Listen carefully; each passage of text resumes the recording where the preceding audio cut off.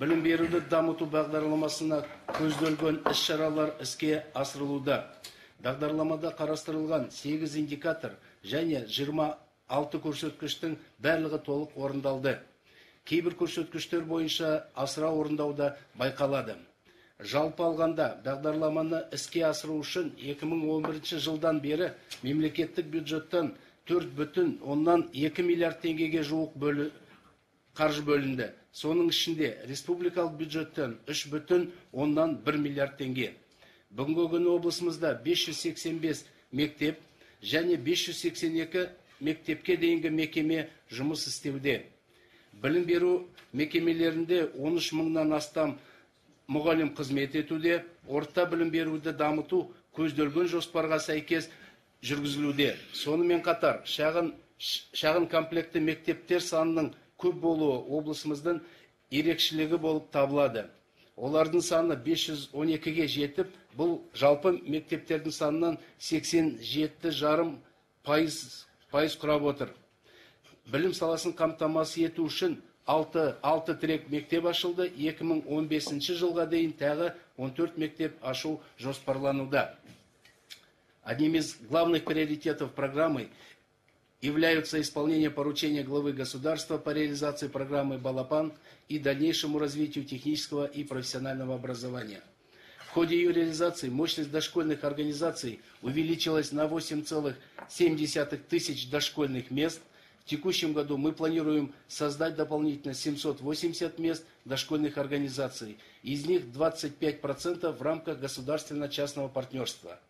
В целом, охват детей в возрасте от 3 до 6 лет дошкольным воспитанием составил 86% при плане 79.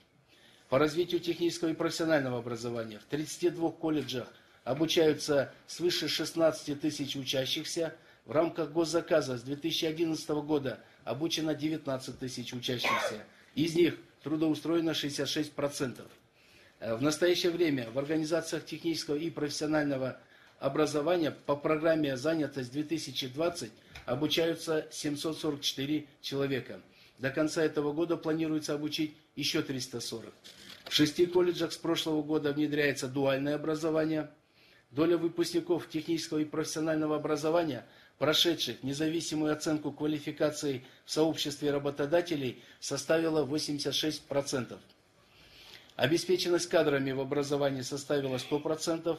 Из них педагоги высшей и первой категории составляют 46%. Только по программе с дипломом в село прибыло к нам почти 900 молодых педагогов.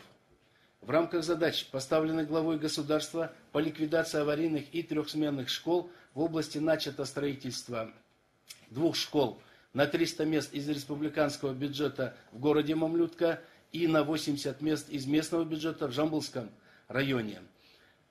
В декабре планируется сдача в эксплуатацию Назарбаев интеллектуальной школы. При этом две школы с государственным языком обучения в нашей области остаются трехсменными приспособленных зданиях. Проектной сметной документацией для этих школ, школ, школ разработанной. В целом, реализация программы осуществляется в соответствии установленными плановыми заданиями. Доклад окончен. Спасибо.